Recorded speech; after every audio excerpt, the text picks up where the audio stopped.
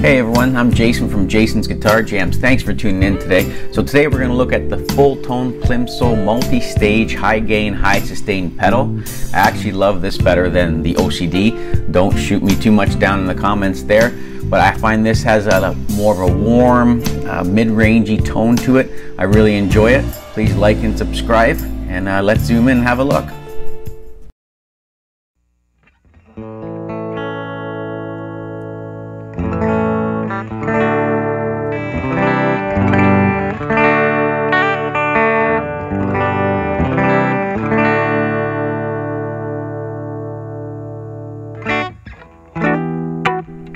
Starting with the sustain all the way down.